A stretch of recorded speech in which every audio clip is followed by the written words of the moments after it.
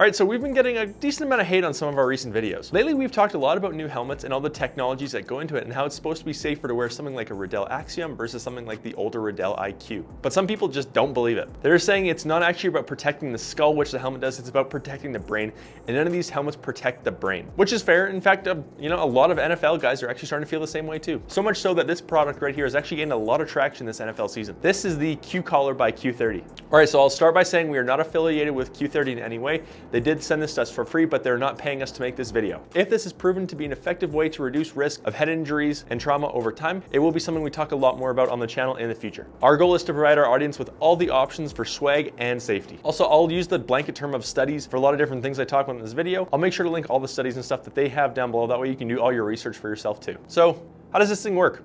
So helmets are designed to actually help protect your skull from fracturing when you make contact, but it doesn't really do a lot for the brain inside. Now companies are trying to get around this by trying to like absorb the impact and limit that movement, but it's really tough to do. This is called brain slosh, and this is what happens to your brain when you actually make a hit. Now everyone knows about the big hits and concussions and the ones that are clearly visible for everyone to see. But Q30 is not trying to solve that. They're trying to reduce the subconcussive repetitive head impacts. Those are all the little hits that you take every play that add up over years that are affecting guys like soccer with head balls or even stuff like boxers with kind of all the little repetitive jabs. There's stuff that you don't actually know it's happened, but it is accumulating over time. Now the technology this thing uses here is called jugular vein compression. Now the blood goes into your head, but then with this on it, with a little bit of compression on your jugular veins, it slows the blood from leaving your head and going back to your heart. Having more blood in your head fills up the gap between your skull and your brain and helps give more of a cushion when you're making these impacts. And it sounds really cool, but does it actually work? Well, they ran studies with Dr. Julian Bailes. He's actually this guy in the concussion movie. Anyways, he saw an 80% reduction in head injuries when he tested it in mice and pigs. So they went and prototyped a bunch of different ideas and styles and designs,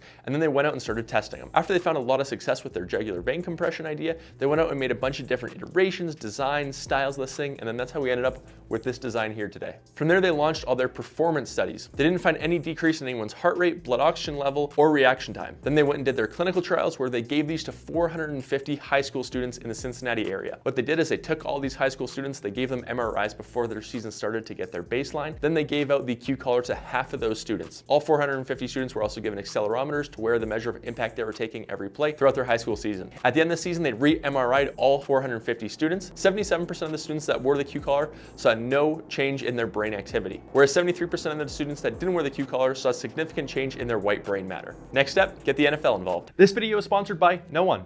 Well, I guess kind of us. And if you guys didn't know, me and Devin are trying our best to give you guys access to all the same products as NFL players. And some of the most highly requested ones have been the Nike Dri-FITs, some of the arm sleeves, and some of the towels and ski masks and that kind of stuff. Because these products aren't always available to the consumer and sometimes just the NFL player, we've taken it on ourselves to go get them for ourselves and set them up where you can buy them too. This by far is going to be the most popular product. This is the standard Nike Dri-FIT that all NFL players wear. Now, most guys go for a baggy look, so if you do want to pick one of these up for yourself, I would size up. A couple things that we did to try and make it a little more custom for you is if you want the standard Nike Dri-FIT, you can just pick it up nice and plain like the NFL players would, but you can also add customization. If you want on the sleeves, you can add your number and it'll go underneath the Nike logo, or if you want to put something down the sleeve, you can do that too. You can add an Instagram handle, a nickname, anything you want. That kind of customization is available across all of our products. So the three that we're starting out with are gonna be these Nike Dri-FIT. We also do have sleeves. Again, you can add your own customization and numbers to. We have these ski masks like Jalen Ramsey wears. And then next we'll be coming out with the skinny towels to match. If you do wanna pick any of these up, they are linked in the description down below. And we have no coupon codes or any discounts or anything. And frankly, because we're almost making no money on these. These are really expensive to get from Nike, hence why they're not really available to the consumer. So we're trying to just get them to you as easily as possible and then basically just cover our costs. So if you wanna check out our new store and get all the same products as the NFL players, check out the first link in the description down below. All right, back to the video. Now, I hope you're not too young to remember, but Luke Kuechly was a middle linebacker for the Carolina Panthers. And in 2015 and 2016, he missed nine games due to concussions. And this was like at the peak of his career when they were on their Super Bowl run. Luke voluntarily enrolled himself in the Q collar study and was the first NFL player to wear it. Over the next three seasons, he only missed one game. Since then, they've done 25 more studies and have also been approved by the FDA as a class two medical device that protects your brain from subconcussive repetitive head impacts. So who in the NFL wears it? Tony Pollard, Dalton Schultz, Taylor Rapp, Shaq Thompson, Budda Baker, JD McKissic, Drue Tranquill, Boston Scott, and Adrian Amos. Now let's talk about how I feel about it. So when you put this thing on, you do want it to sit a little bit lower on your neck and you want to run a two inch gap in the middle. They actually give you this little tool so you can see if you're in the red, it's too tight, you want it in the green. Also, you need to make sure that the goal of this is to put pressure on these sides of the neck. If you're putting pressure on the front, if it's sitting too high or if it's too close in the middle, you'll be cutting off your trachea, something you don't want to do. Again, it's all about just a little bit of slight pressure on the sides of your neck. Now, for the first time you put it on, it does feel pretty restrictive, I can't lie. But to get used to it over two to three days, you're supposed to wear it in small increments where you have a heart rate elevated for like five to 10 minutes. So basically do it for a part of your workout, take it off, put it on again, and do that over and over for a couple days. Now, the first time I wore this, I did feel some pressure on my neck, like it was a little bit restricting, but I actually wore it a little bit throughout the day when I was working, and then I wore it to work out later, and now I'm actually really starting to get used to it. Even talking at the beginning felt a little bit weird, but now it actually feels pretty normal. Now, as far as overall comfort go, you kind of have two options. You can wear it with just the rubber pads here, or you can buy one of their little sleeves and put it over top. I do like how the fabric feels on my neck, and I actually like the fabric a lot more for working out because it kind of wicks away the sweat a little bit. Also, these sleeves are a nice way to just add your own team colors and just get the standard gray, and then get a different sleeve to add a different color over top. Also, to fit it to yourself, remember you do need to make sure that you have a measuring tape. On their site, it'll show you exactly how to measure it, and then you get a specific size on here. I think it changes by the inch.